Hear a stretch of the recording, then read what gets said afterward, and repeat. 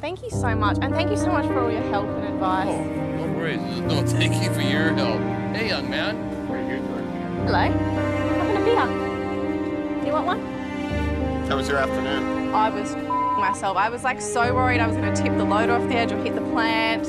But you were a very good teacher. You helped a lot. The hardest people to teach are the people who keep saying, I know, I know, Mm. I know. Oh, they're the worst. Yeah, definitely.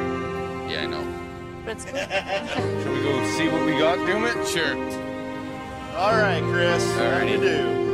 I'm going to pour it, you call it out, okay? okay, cool. The keyhole cut has averaged 175 ounces a week.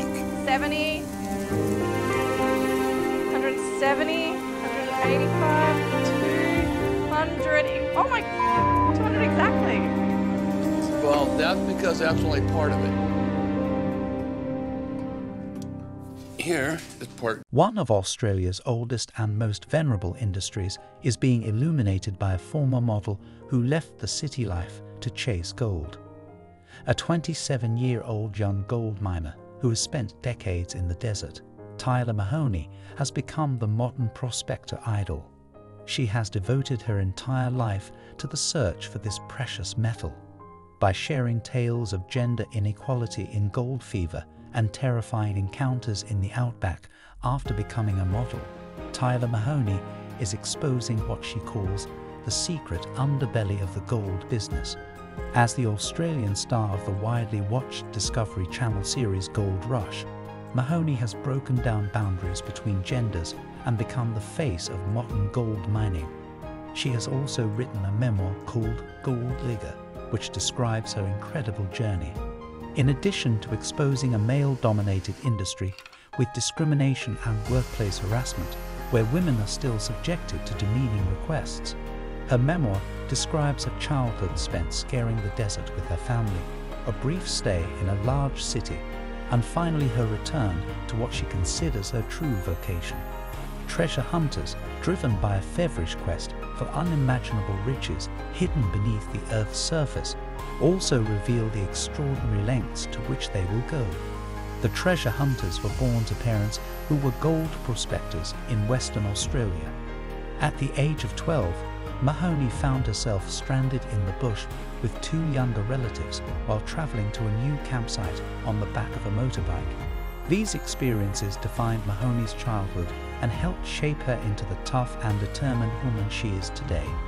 Witnessing her mother confront the daily sexism in the industry also left a lasting impression on her. Mahoney's upbringing consisted of weekends and school holidays spent exploring the outback while her parents searched for gold. Despite being teased by her classmates, she learned to handle it with resilience. While a burly guy once verbally attacked Mahoney while attempting to sell her fool's gold, these experiences paled in comparison to the terrifying tales she heard. Mahoney remembers observing these difficulties as she grew older and experiencing them herself. Prospectors sometimes operate in dangerously isolated locations with no protection, frequently miles from civilization, which can be particularly dangerous for a woman working alone. In one terrifying incident, Mahoney's mother was prospecting hundreds of kilometers away from the closest town with her sisters. During a break, she suddenly noticed a man staring at her through the bushes next to her car. Her heart began to race, and she used a two-way radio to alert her sisters and call a male friend for help. Fortunately, they were able to chase the intruder away, but the possibility that the situation could have gone wrong lingered constantly. The bush is a place where I feel secure and at ease, so you always have to keep that unsettling what if in the back of your mind. Though sexism in the gold mining industry has gradually improved, Mahoney acknowledges that there is still a long way to go and that many women may still struggle to overcome the obstacles in this male-dominated field. Mahoney suggests writing a separate book if she were to record every instance of sexual harassment and discriminatory treatment she has experienced because you don't fully understand the consequences until you've lived with them your entire life. Tyler Mahoney openly discusses her career, personal life, and mental health in her memoir. Hi everyone, welcome back to my Gold Rush official channel. I hope you are all having a great day. Before we begin, please press the subscribe button and give this video a positive rating. When the sun disappeared below the horizon simultaneously, it created extensive shadows across the vast Australian outback. When Tyler Mahoney was gathering other prospectors around a crackling bonfire, the air was thick with expectation, and he was beginning to unearth the unwritten stories that lay beneath the surface of the shimmering goldfields. Tyler was getting ready to reveal the dark secrets of gold mining. Recognized for her unorthodox strategies and her ability to read the terrain like an old script, the flickering flames cast an ethereal glow on her face. With a penchant for adventure, Tyler was an experienced prospector. She was also known for her ability to read the terrain. As the firelight flickered in her eyes, she drew the gathering nearer, hinting at the mysteries that awaited those brave enough to enter the shadows of the gold rush. The group drew in closer, drawn in by Tyler's comments, eager to learn the hidden facts that lay beneath the surface of the career they had chosen after all. With her battered hat drawn low over her eyes, Tyler began to tell the first of the dark secrets, which were the tales of prospectors who had met their demise as a result of the ore of gold. Her voice was a low murmur that mirrored the whispering wind that was blowing through the eucalyptus trees around the area. For every nugget that glistened in the sunlight, there are secrets buried deep within the earth. I have seen males driven to insanity it's a cry not unlike the sound of an avalanche that echoes through the valleys, enticing even the most composed people. It is common for us to sacrifice reason in order to achieve a goal, as as Tyler talked on, pictures of lone miners making their way through the barren countryside, their eyes filled with desperate determination, appeared before the group. She explained that the gold rush was a two-edged sword that could lead to both unthinkable prosperity and catastrophe. Tyler portrayed rivers that were once pure as being tainted with mercury, majestic forests that were stripped bare, and ecosystems that were altered as a result of the persistent search for wealth.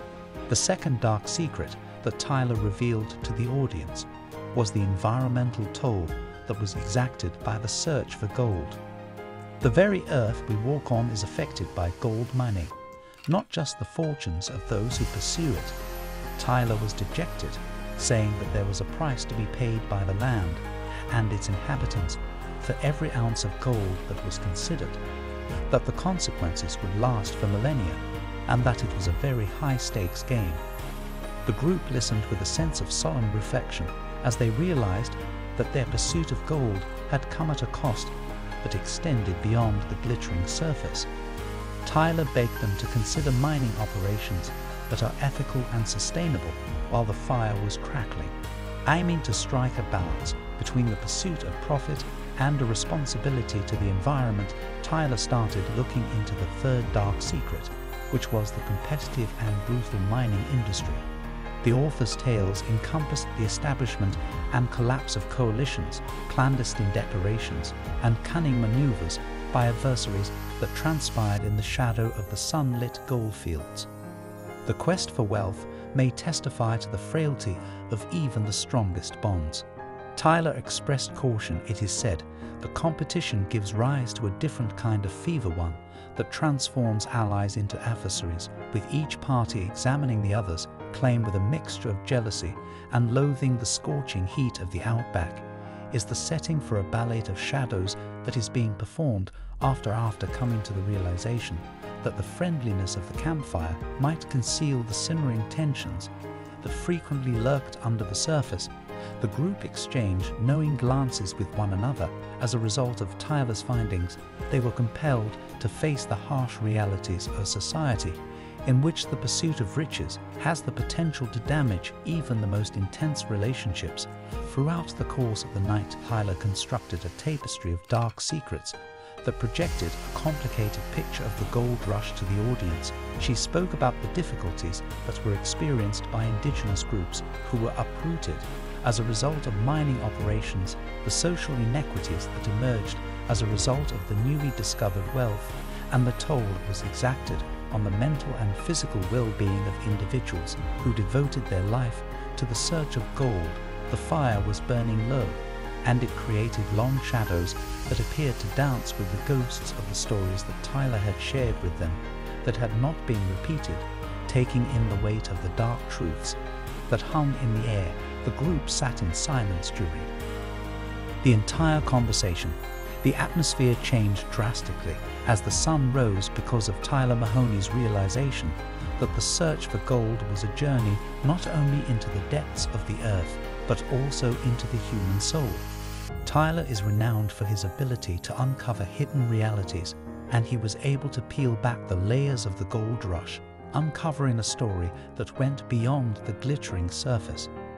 The group dispersed as the first light of dawn illuminated the outback in shades of pink and yellow, each prospector carrying with them the weight of Tyler Mahoney's discoveries.